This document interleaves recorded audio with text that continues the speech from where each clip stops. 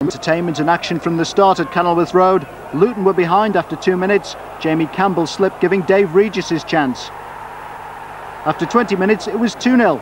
Des Linton heading Orlygsson's corner into his own net. It didn't take long for Luton to get back into the game. Kerry Dixon sized up his options and found the top corner with a delightful curler. A great goal that, so was the equaliser by Ceri Hughes. A Mitchell Thomas cross was put away by Scott Oakes, so if you're keeping count, 3-2 at half-time.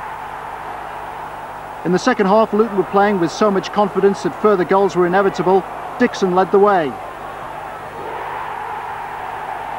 And Dixon doubled his total for the season when he completed his hat-trick.